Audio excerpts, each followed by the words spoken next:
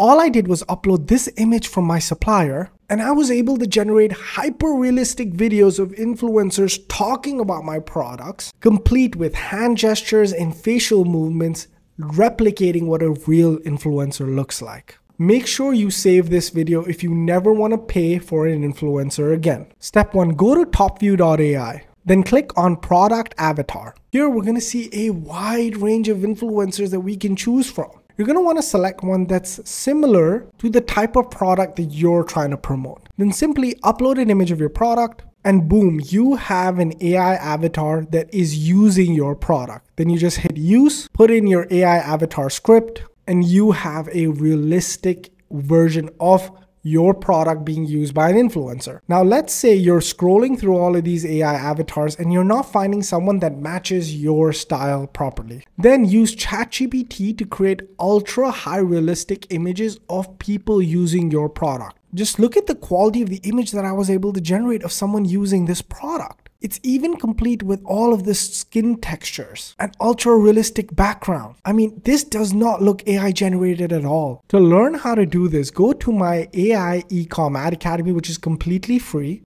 Comment Academy down below and I'll send you the link for it. Go to AI Ecom image generation and just watch this video because I'll show you how to generate ultra realistic images of people using your product. Once you have that image, go back to TopView, go to product avatar, and this time use my photo. Upload the image that you generated with ChatGPT, and then go ahead and upload your own product image. You will have a ready to use AI avatar. Go ahead and upload your script. And just like that, another ultra realistic AI avatar talking and promoting your product. I keep this AI Ecom Ad Academy updated with the latest and greatest in AI image and video generation. So make sure you get access to it.